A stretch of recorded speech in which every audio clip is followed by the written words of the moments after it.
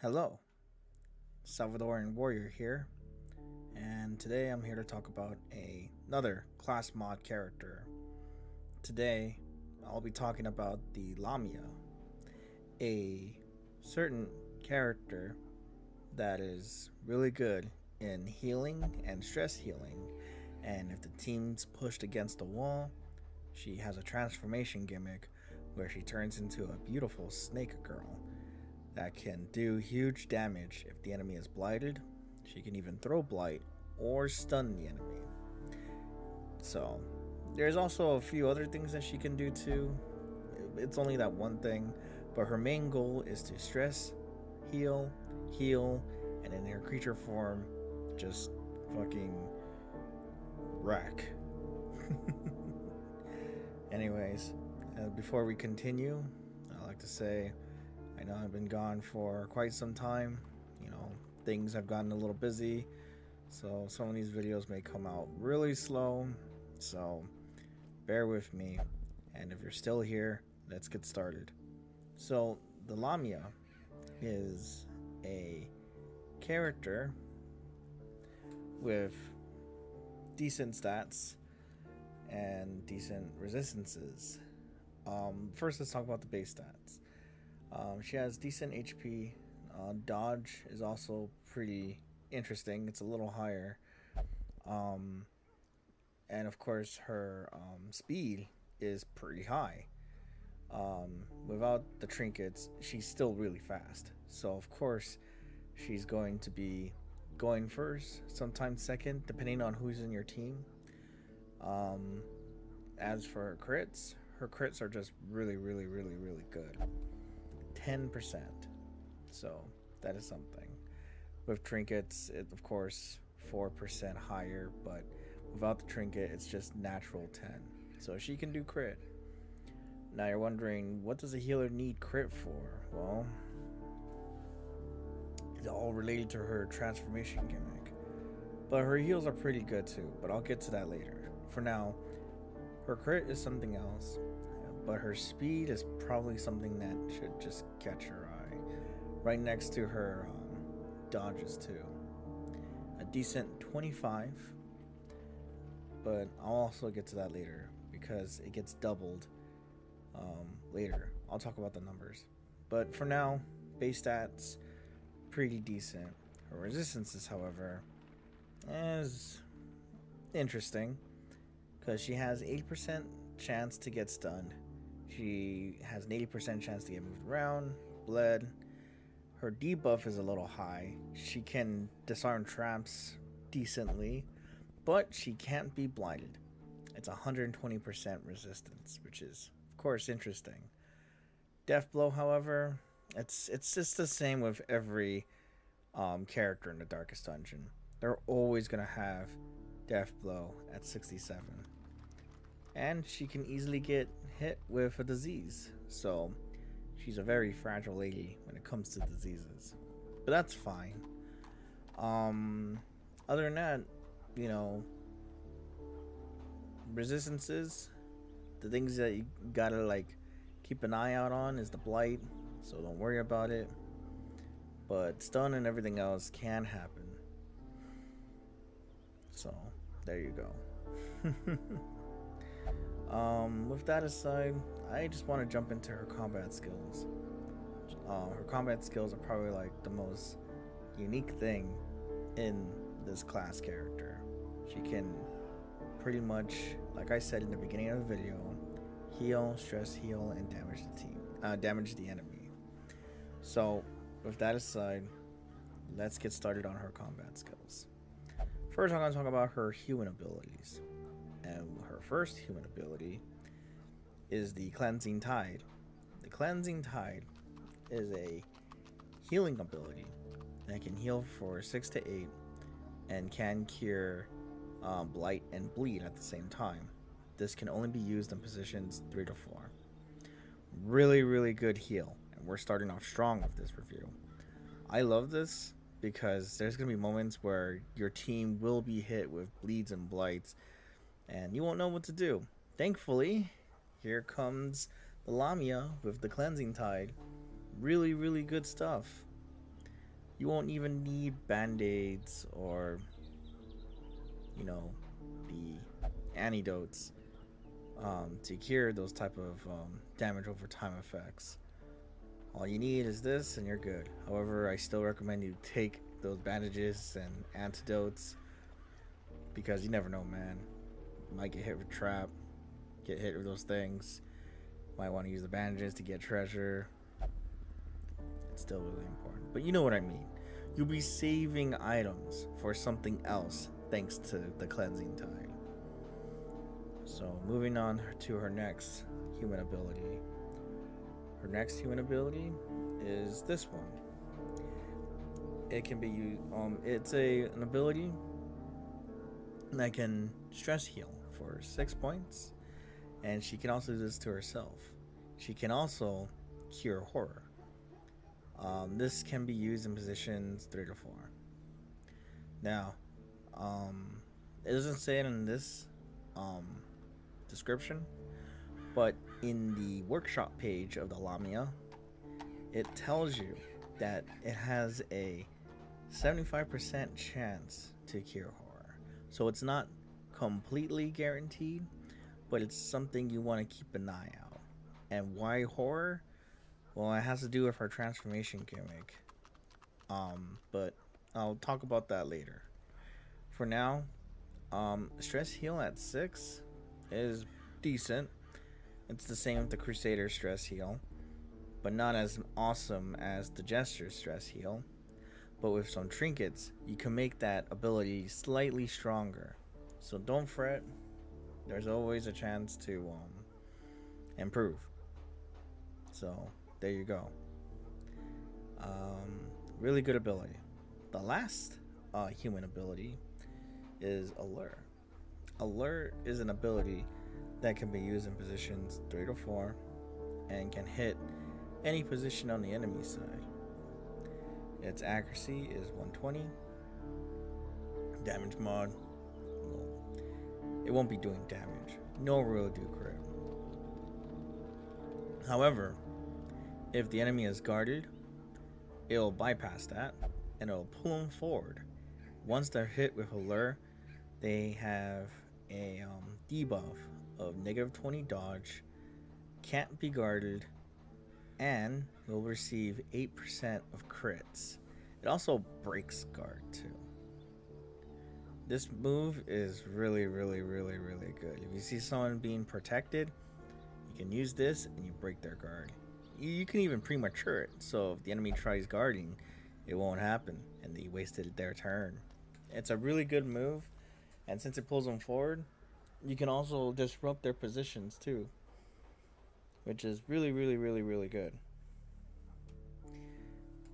Which reminds me, when this character transforms to her snake ability, she will be moving around in different positions.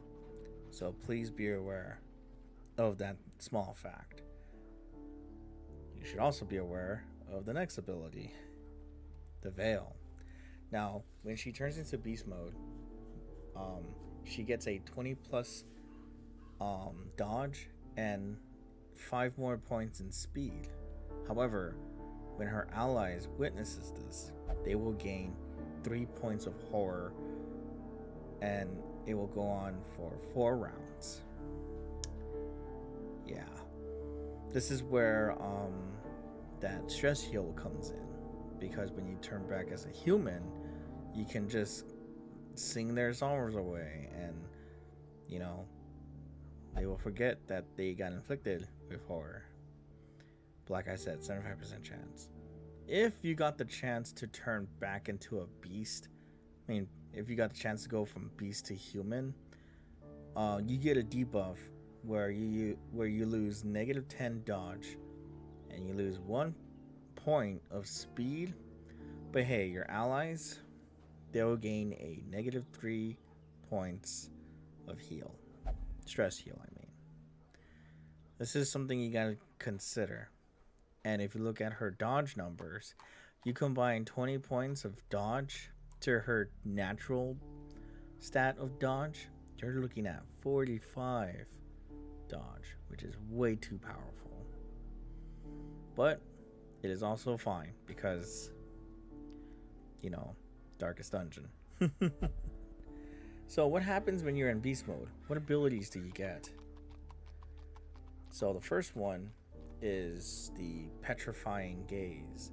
Petrifying Gaze is an ability that can only be used three times and can be used in any positions and is an AoE attack that hits from positions 1 to 3.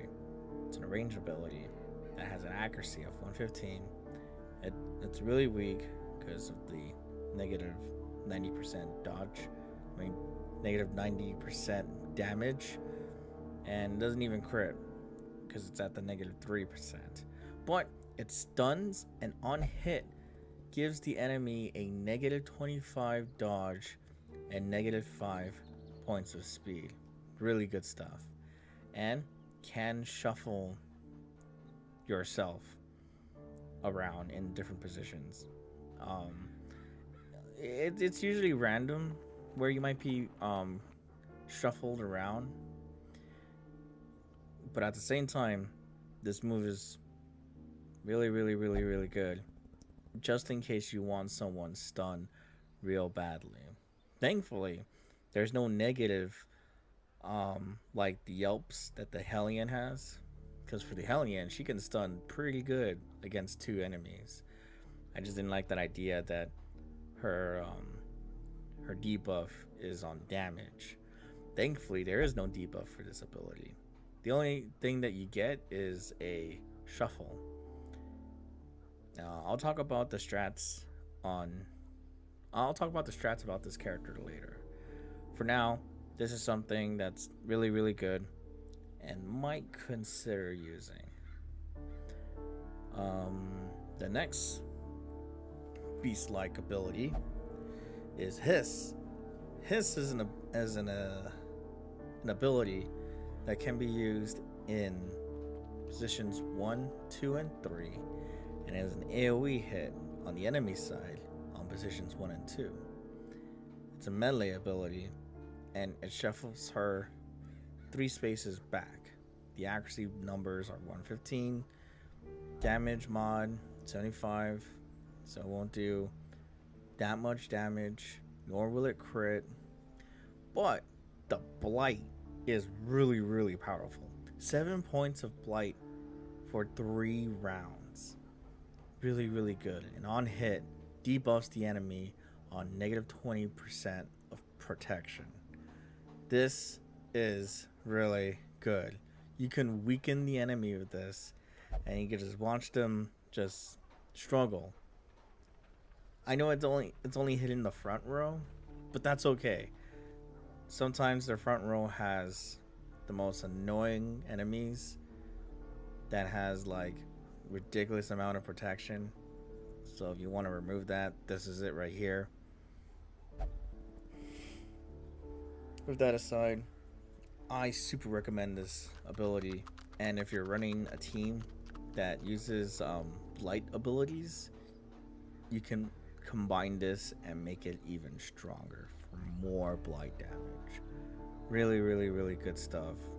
Highly recommend you use whenever you get the chance. However, the one ability that you're probably going to be spamming a lot is this one. The last beast like ability is called Slither. Slither is an ability that can be used in positions 2, 3, and 4 and can hit any positions on the enemy side. Melee ability that can pull her 3 positions forward. So she's going to be in positions 1 as soon as she does this ability. The accuracy numbers is 115. The crit is at 11%. And if the enemy is blighted or stunned, will do 75% of damage. And on hit, she buffs herself by 20 more points of dodge. So you know how you turn into a beast, you get 45%, I mean 45 points of dodge, and then you slither, and you hit, you get 20 more points, ending it with 65 dodge. That, my friend, is way too powerful. This move is really good, but the drawback is that you're stressing out your team, you inflict horror on your team, And as they're sitting there, stunned by her beauty, you're here just doing all the crazy damage. Like I said, this ability is, is only should only should be used if your backs are against the wall or you just don't care. this move is really good. Overall, her combat abilities really really excellent. Really really excellent. Really really good. I love it. I love it. I love everything about the human part and I love everything about the beast part. Um, not a lot of love goes into the transformation characters. I get they're just gimmicks and everything, but um, I don't care. I see potential in transformation characters, and I feel like they could be really, really good if they're run with the right team compositions. But like I said, I'll talk about that later. Let's talk about her camping skills. Now, like most mod characters, they come with three generic camping abilities, but these are the four unique camping skills that you're probably going to be using. And if you don't know which one's the best, I'll help you with that. The first one is Immodest Vanity. It's a time cost one, and on the self only, cures herself of negative 30 stress. Um, all companions, however, receive 5 points of stress and has a 33% chance of getting 5 more points of stress in total of 10 if it happens. It's a time cost 1. And and you know what that heal, healing your your stress heal for 30 points is really really good. And since it's cheap, why not? So what if the team gets 5 points of stress? Who cares? I say do it anyway if you're in that position. The next one should help out the team. Lamprey's Kiss is a time cost 2 and on one companion can remove blight and a disease. However, they will be inflicted with plus 15 more points of stress. Now, that may be bad, but this is one of those scenarios where if you don't want to be stuck with disease and you know that disease is hurting your stats, use this kiss and that disease should just go away. They'll be they'll be stressed out, but they're gonna be thankful they don't have like something like the red plague or you know leprosy or some sexual disease they don't have to deal with that. So it's really good. And it's cheap. Time cost too. You can't beat that. Now, the next camping skill is Soothing Presence. Soothing Presence is a time cost 4, and all companions only will stress heal them for 10 points. And they get 20% of stress resistance. This lasts for 4 battles. This one's pretty good. Um, for negative 10, it's, it's okay. You know, I'm fine with that. Uh, time cost 4, however, is kind of expensive for just two abilities. If, um, this, um, camping skill had an extra ability, I would have been totally fine with the time cost. But, eh, beggars can't be choosers, I guess. This is, this is it right here. It's okay. I would still do it anyway, because stress healing is stress healing. The last camping skill is Stalk Prey. It's a time cost 3, and on self has a negative 10% chance of a party surprise with a plus 30% chance of a monster surprise. This lasts for 4 battles. Uh, it's okay. You know, it's like that other camping skill with a nightmare protection. And um yeah, it's just really really really good. Um I wish I had more things, but then again, the time cost 3 is understandable. So it's kind of fair, I guess. Um unlike that one camping skill, um this has a higher um, chance of a monster surprise, and getting the advantage is always good in the darkest dungeon. So I would take advantage of stalk prey and make sure that your chances of getting the first move is really really important. So overall, stalk prey is okay. Soothing presence is decent. This is really good for that scenario. And this is just cheaply good. cheaply good. I, I hope that's a thing. So, so there you go. Um, my only complaint, I wish that had an extra ability. Um, that's it. As for trinkets, um, there hasn't been really like anything interesting for the Lamia besides the one trinket that I'm using, which helps her with um, blinding the enemy and stunning the enemy while giving herself um, four more points in speed. Sure, she suffers more stress and maybe a negative 10% chance of not getting a good virtue. But, you know, if you play your cards right, you should always not be hitting the um, 100 for stress. Now, here are the other uh, abilities that you can. Here are the other trinkets you can get for the Lamia. You get this one where you can max out your stress heal and and healing, but you lose your um, HP. Um, there's this one, which makes your healing skills weak, but your damage and crits are really good. There's also the dodges. There's also just stress healing. And that's pretty much all I got. Um, overall, if you want to use this character, make sure you're using a um, a team that isn't position dependent. If you do decide to use her with a team that is position dependent, um, it's gonna mess up your team composition to where characters that work well in the first row get pushed back to the second and third may have no options or one option that has nothing to do with the situation in, in hand. So I recommend either a shuffling team or maybe a Mark Synergy team or just someone that doesn't mind getting pushed around because by the time she transforms, she's going to be pushing people around just so she can get that damage. So, there you go. Overall, I love the Lamia. The Lamia is a really good class character, and since it's a transformation character, plus one in my book.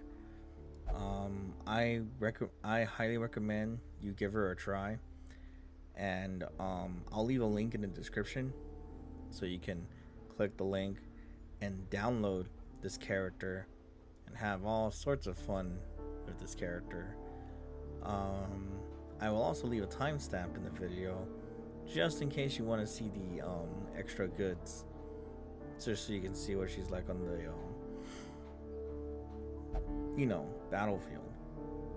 So with that said, um, this character's great. Uh, the modder that worked on this character also did a great job. So kudos to them. And um, yeah, I don't know how I'm gonna end this video, but I will say this. Um, thank you for watching this video. I hope you reconsider checking out this character. And I will see you in the next class mod review. The next one might be really, really special. It means a lot to me because I'm a huge fan of this character that came from a certain series. But until then, take care of yourself, stay safe, and I'll see you in the next one. Take care.